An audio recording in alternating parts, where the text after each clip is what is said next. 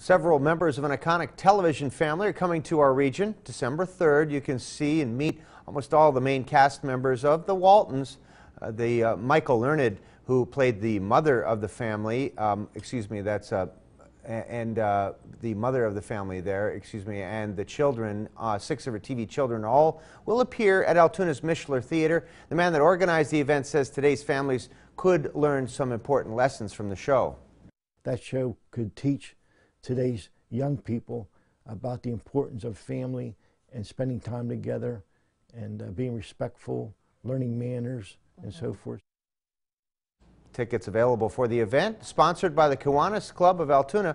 All the proceeds will go to the club's children's programs.